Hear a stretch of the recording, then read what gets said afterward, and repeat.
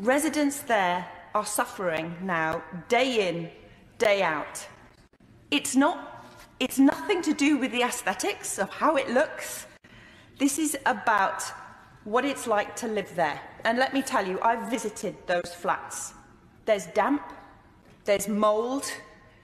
It is horrific in many of those flats. And people are living in squalid conditions and suffering from mental and physical problems as a result.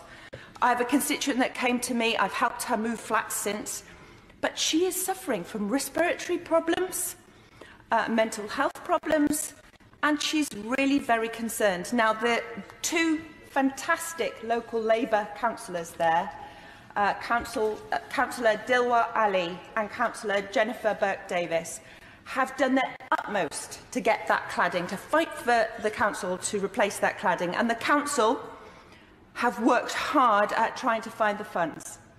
They've got a surveyor looking at what that cladding needs to be, and they, have, uh, they are working very hard at it. But there is no central funding from UK government that can come because we know how cash-strapped councils are.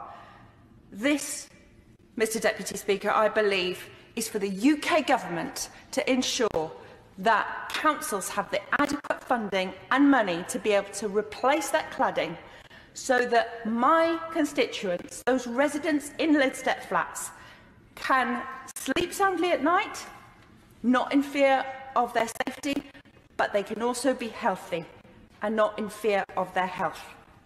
Thank you.